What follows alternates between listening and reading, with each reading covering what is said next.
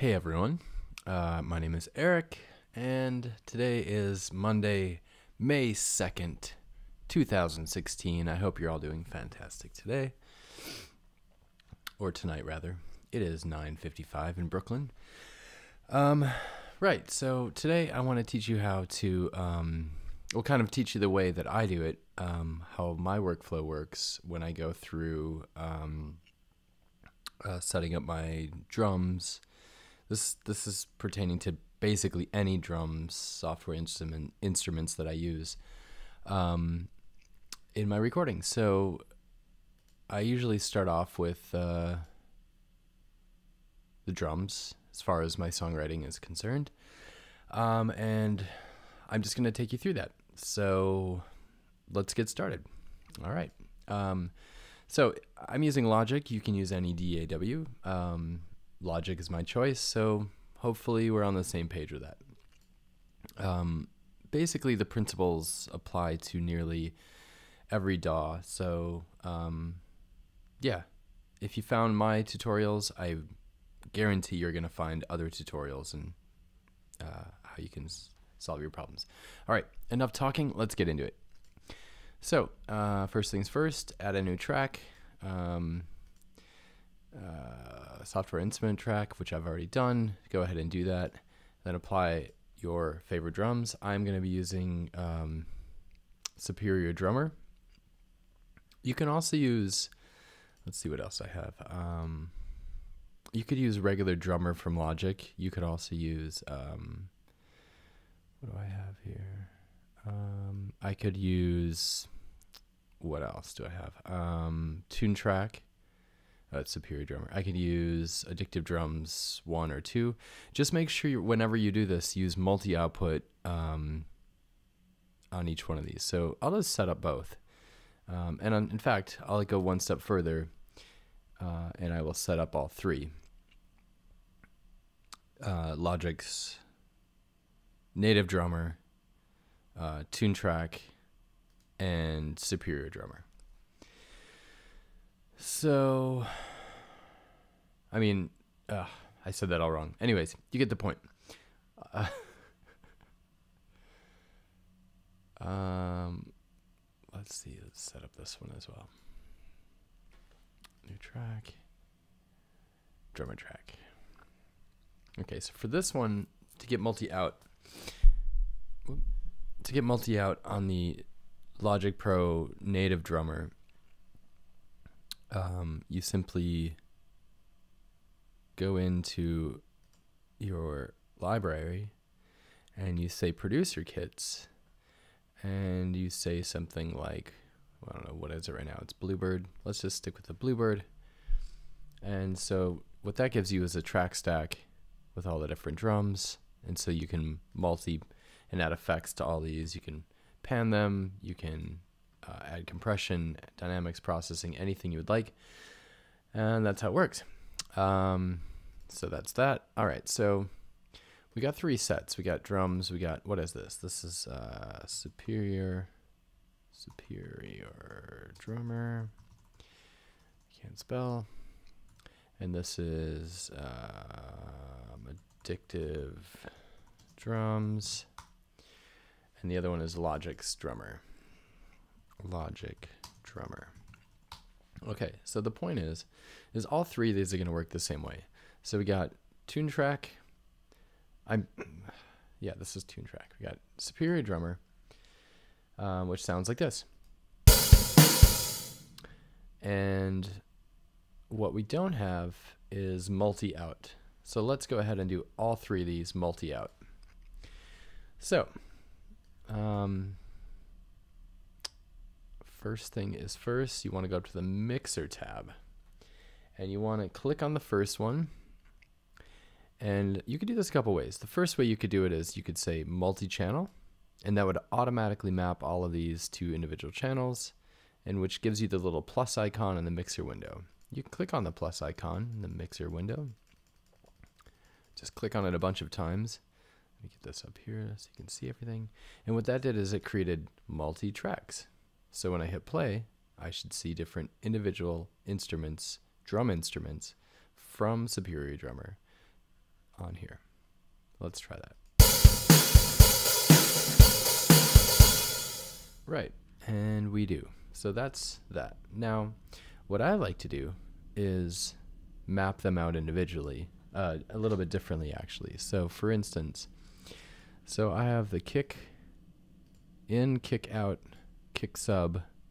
All three of those I can keep on the same channel, which they are, which is channels one and two, which renders down into this one. So if I solo that, I get this. Okay.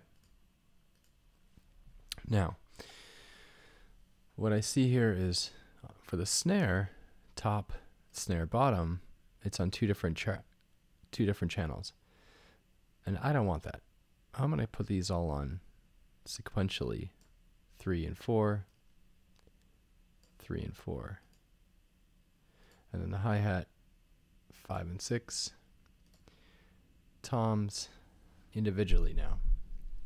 Let's go 7, 8, 9, 10, 11, 12, 13, 14, 15, 16. And then now we're dealing with overheads. So you guessed it, 17, 18. And then the ambient room mics, I like to put all in one channel. So I just select those, say um, 19, 20, is that right? 18, 19. Yeah, that's right. Which gives us this. Now, there's no toms being played right now, but um, you can also see that. Just turn that down a little bit. Okay, so you can also see that all of the drums coming out in individual tra- tracks. Although we don't need tracks 25 through 30, so I can just delete those. And I can say yes, delete anyways, or I could cancel that and hit the minus button. One, two, three, four, five. Okay. And now we can go through, we can even, we can even, uh, I'll just shut this off. Bring the volume back up. And we can also just go through and just label these real quick. So kick, snare, hat, tom 1, tom 2, whoop, tom 3, tom 4, tom 5, overhead, and room. All right, so that's a that's Superior Drummers multi-tracking, and we'll get into leveling and things like that because obviously the levels by default are way too hot according to digital um, Unity, I guess. Well, you know, so digital signals we want to have around minus 18 dB. Um, and we'll sh- I'll show you what that's like in probably a different tutorial. I think it's definitely um, something that I've learned personally that really really matters in the last couple years. I've really learned about um, the uh, tracking levels and, and mixing levels and, and gain staging and all these things. It's it's incredibly important. Um, you'll hear this from everyone. Uh, it's something I overlooked for most of my songwriting and recording, uh, but I want you to understand that it's very important. Anyway, so let's have a listen to Superior Drummer real quick. Um, and I'll go ahead and just pan something. No, I won't pan. I'll just go ahead and let you listen for a few seconds.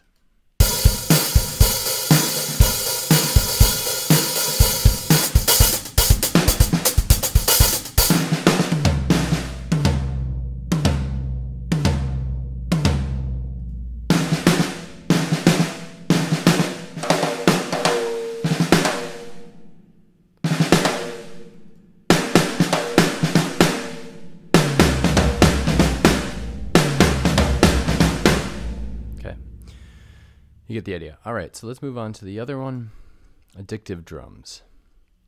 Addictive drums are basically all the same thing. So the one thing you don't get, which I don't really like, is in Logic Drummer, you get track stacks, which are really nice to kind of hide.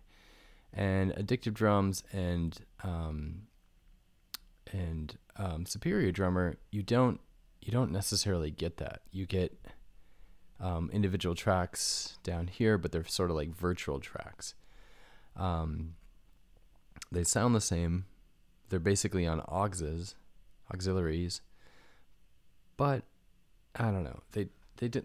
I, I don't like the the management. I I like this because you can manage it and then toggle them on and off. Anyways, maybe we'll uh, fi- maybe uh, Logic will fix that one day.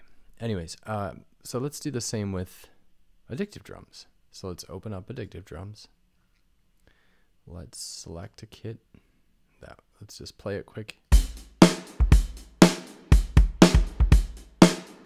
Okay, sounds pretty good. But let's put these on individual tracks.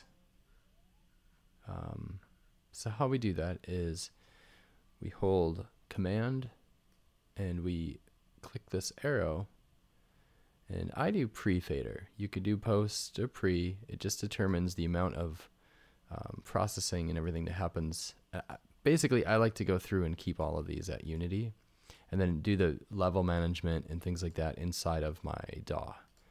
Um, in this case, Logic. So all of these are already mapped by just doing that. I do the same command click to the overhead and the room and the same thing command. Well you don't have to hit command. Command is just for the multiple multiple select. And there you go. So now all of these are mapped. If I solo just the kick and hit play. Okay. They're all it's individually mapped and you can only hear the kick. Some bleed in there. The one thing we don't have though is we didn't hit the plus button down here. So let's do that, which will create the virtual tracks for the individual instruments. So click that a few times and it'll automatically create mono tracks and a couple of stereo tracks towards the end. And you can see the stereo tracks, everything aligns here, aligns here. So we have, I think it's one, two, three, four, five, six, seven, eight, nine, ten. Uh, 10 individual mono tracks and three uh, stereo tracks. So you can do the same thing. So now that we're mapped, um, this one's a little bit easier to map because you have kick on the first. Actually, no, you don't. You have addictive drums. This is basically the master output. Uh, drums. Okay, so we just call it AD drums.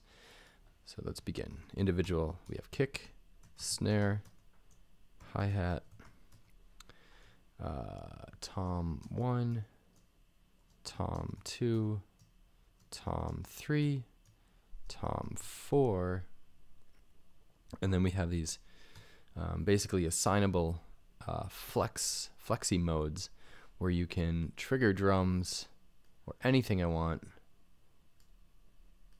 For instance, every time I hit the kick, it's going to trigger claps.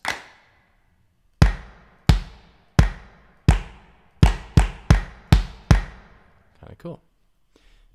Um, you can do the same with snare. So anywhere there's this little icon up here, you can do that with. So I can go here. Drag it. Well, I think I need an instrument first. Let's get something like one of these. Yeah, sure, why not? Uh, you could do the link to the snare, link to the kick. In this case, I'm going to link the snare. And you can turn down the volume just slightly. In fact, let's not do it there.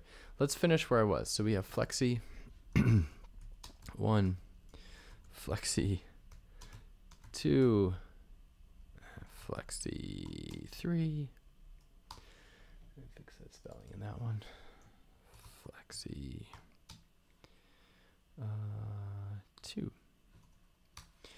And we have overhead overhead and we have room and we have I always do D bus as drum bus but I really don't ever use the drum bus in this because it's kind of redundant Um, I don't try to. I don't. I never use the effects in uh, Addictive Drummer that often. I try to use the my own effects in my DAW, um, but you can do whatever you like. All right, so that one's set up as well. So now we have multi-out on two sets of drums.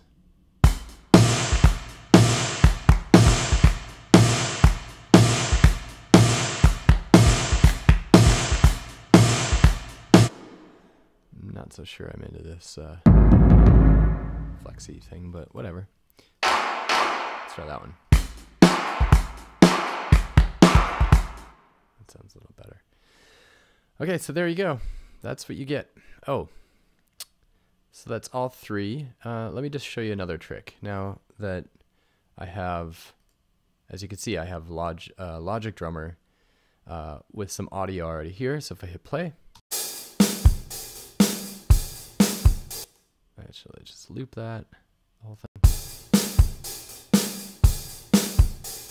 Right, they're on individual tracks as well.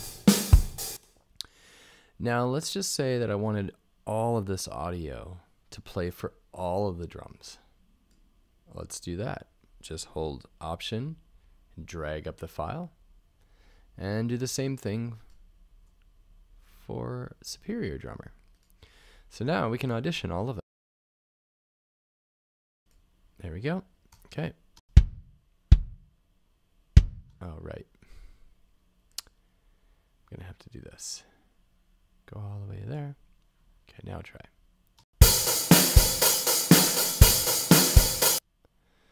All right. And we'll try with this one.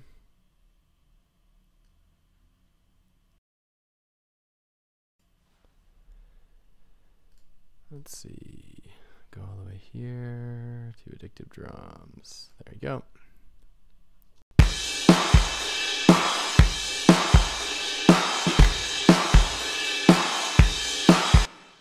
And you can mix these drums together. You could use them individually. It doesn't really matter what you do. You could do all kinds of stuff.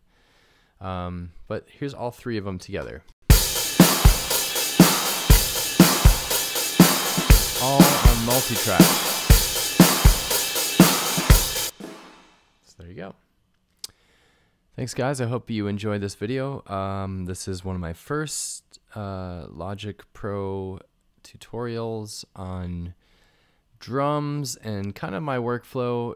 This is nothing that you can't find everywhere else on the internet. I just started thinking to myself that I should probably take some of the knowledge I've learned from others, you know, that I that I look on YouTube for and learn tricks and tips from them. And then I thought maybe I would I'd share that with all of you um, because I have the tools and the time and um, yeah, I want to I want you to learn. Um, so that's it.